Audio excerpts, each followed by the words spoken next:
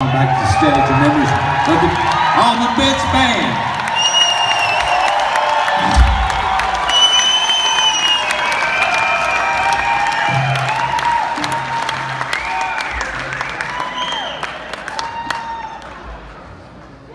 This particular song is a, is a song that uh, I wrote many years ago to honor all of the Southern bands. It's called Be Proud You're a Rebel because South's gonna do it again.